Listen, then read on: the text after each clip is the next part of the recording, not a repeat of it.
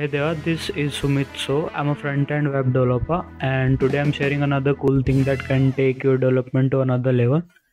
I'm talking about Webpack. Webpack is a module bundler combine multiple JavaScript files and their dependencies into a single static asset.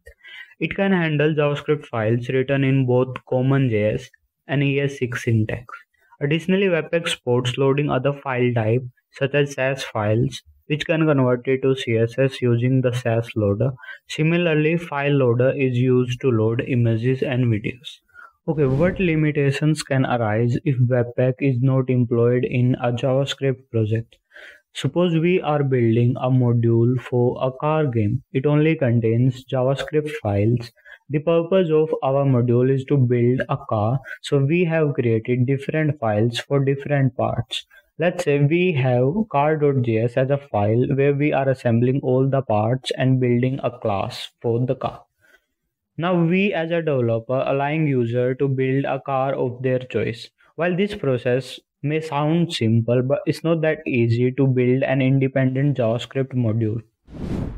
Things can get tricky when it's time to test the module because the module may have internal dependencies and it can be frustrating to manage a complex structure. And we often encounter errors related to dependency order and even syntax.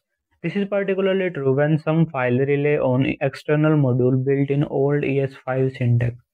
Thankfully webpack comes to rescue by compiling all these dependency into a single bundle.js file. Now it's time to initialize webpack project. All you need to do install webpack as dev dependency create a configuration file, define entry for your project. In previous example, it was car.js. And obviously we need output object for compiled code. If we are using things like TypeScript or Sass, we need different loader for a particular type of file.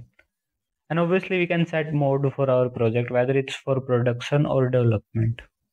Now these are basic things we can do in Webpack project. If you want to explore more, you can visit their website